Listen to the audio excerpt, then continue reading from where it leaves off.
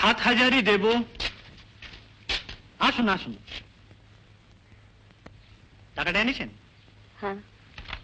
আসুন পাশের ঘরে। আপনি দু মিনিট বসুন। আপনার রসিদ টসিদ সব রেডি করা আছে।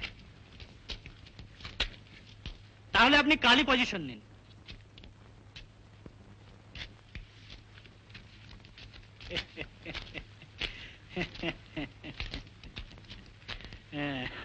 কি ব্যাপার? কিসের টাকা? মানে আমার একটা ঘর আছে হাতিবাগানে।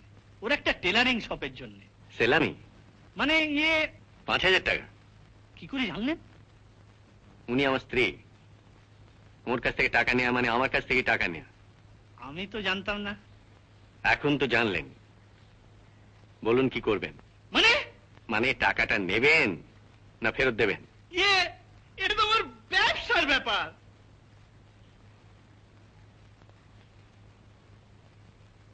চলি। একবার বিনোদ ভরের সঙ্গে আমার দেখা করতে হবে। শুনুন ক্লাবের ডোনেশনটা একটু কনসিডার হুম। ঠিক আছে ওই অ্যাপোলোর জন্য দু হাজার টাকা আর নাইলনের একটা কস্টিউমের জন্য দেড়শো টাকা। আর ওই সেলামির টাকাটা তো ফেরত দিচ্ছেনি এগুলো দিলে আপনার প্রেসিডেন্ট হওয়ার জন্য আমি বলতে পারি। দেখুন আপনার ওই বক্তৃতা আজ থেকে আর আমি লিখে দিতে পারব না। শুনুন দাঁড়ান আপনি আমি আসছি আমি আসছি। উনি সত্যি আপনার স্ত্রী তো?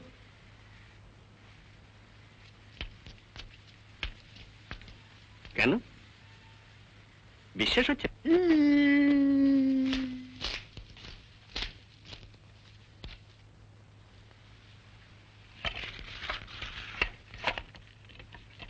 পাঁচ হাজার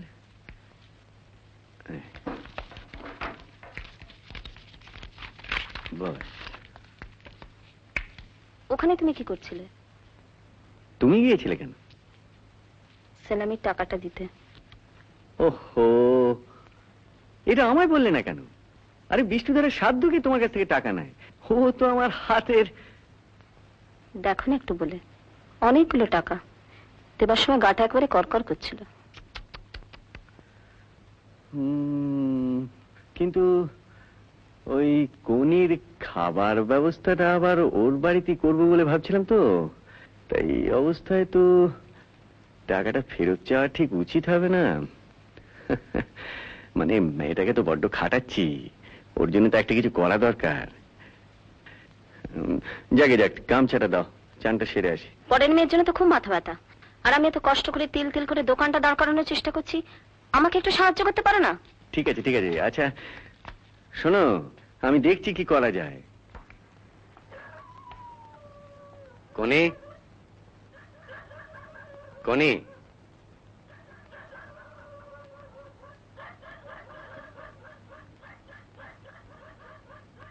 কদিন যাসনি কেন? তোর দাদাকে আজ বলে দেবো। কিচ্ছু হবে টবে না তোর। কেমন মানুষ গো তুমি? কাল রাত্রিরে মেয়েটা দাদা মরে গেল। আজ তুমি মেয়েটাকে বকতে লেগেছো? কে? কে মরে গেল? কনির দাদা গো ভরকে ভরকে মূর্তি রক্ত উঠল রাত্রির খাবার।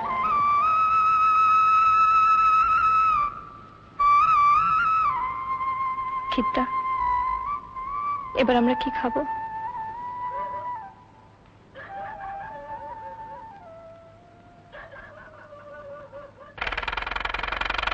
মেয়েটা একেবারে অন্ধকারে হারিয়ে যাবে। তোমার নতুন দোকানে তো একটা কাজের লোক লাগবেই। ওকে যদি নাও সাঁতার শেখাটা বন্ধ হয় না লীলা। সাঁতার শিখবে তো দোকানে কাজ করবে কখন? হবে হবে। আমি বলছি হবে। দেখো তোমার কোনো অসুবিধা হবে না। আচ্ছা মেয়েটার জন্য এত করছ কেন? কি লাভ তোমার? সারা জীবনই তো এই করছ। কেন?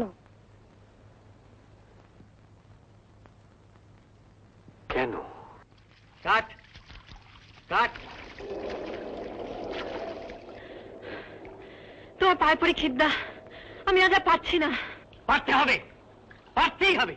আমি কোনো কথা শুনছি না। দাঁড়। উঠবি না। উঠবি না বলছি। খবরদার উঠবি না। মাথা ফাটিয়ে দেবো তোর। তো বেরে মরে যাব। আমি মরে যাব খিদ্দা মর। মর। মরে যা তুই। মরে যা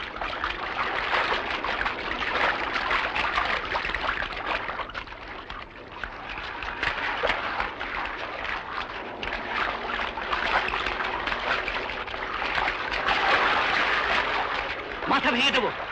এখন এক ঘণ্টা তোকে জলে থাকতে হবে। খিদ্দা এবার আমায় ছেড়ে দাও। ও গলা পুষিয়ে দেবো। না আমি রুটিন অনুযায়ী কাজ চাই। তোকে এখন উঠতে দেবো না। যা যা চলে যা। যা।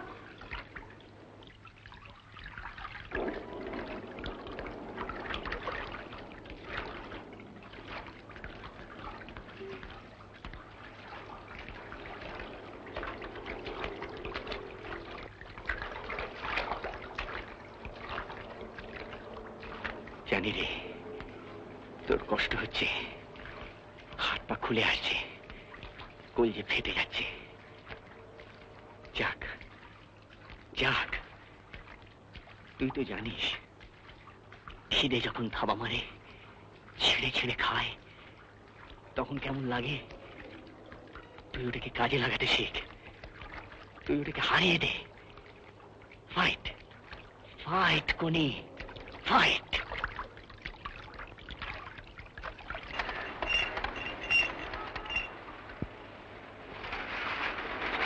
বেরিয়ে যাও। তোমাকে আমার দরকার নেই। তোমার কাজ? অথচ আমাকে অন্য দোকানের ছেলেকে বলতে হয় কেন? দেরি হয়ে গেল বৌদি আর কখনো হবে না।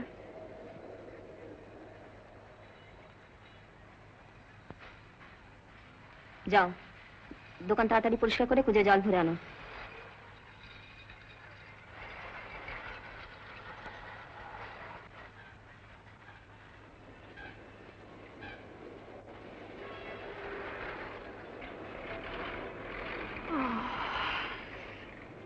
বাড়ি গিয়েছিলে? ক্লাব থেকে এখানে আসছি। জল খাবার খাওয়া হয়নি? বৌদি একটু বাড়ি যাব? না।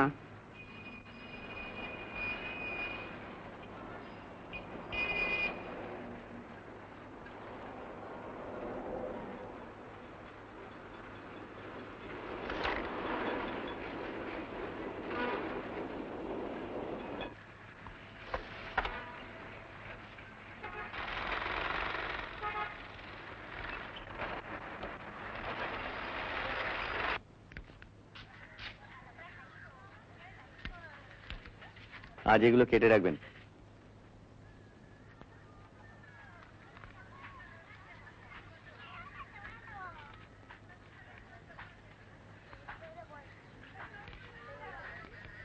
ছাঁটগুলো সাইজ মতো কেটে কাল সকালের মধ্যে কনির হাতে পাঠিয়ে দেবেন। কনি কাল রাত্রে কখন ঘুমিয়েছিল? রোদ যেরকম সময় ঘুমোয়। সত্যি কথা বলছেন? তাহলে এত তাড়াতাড়ি হাঁপিয়ে পড়ল কেন?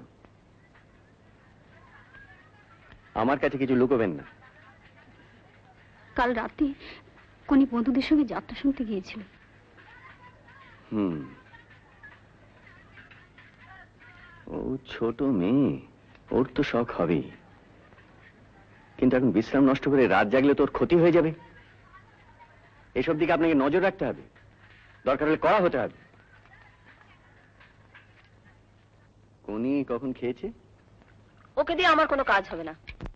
কে বলছি মই? আজ বসে দিনই দাঁড়িয়ে দাঁড়িয়ে ঘুমোচ্ছিল। আজ ওকে বড্ড খাটিয়েছি। তাতে আমার কি লাভ? পাঁচ হাজার টাকা বাঁচিয়ে সেটা অন্য দিক থেকে নিয়ে নিচ্ছ। কেন খাওয়ার জন্য তো মাসে মাসে পঞ্চাশ টাকা করে দিচ্ছি। দুধ ডিম মধু এত সব পঞ্চাশ টাকায় হয়?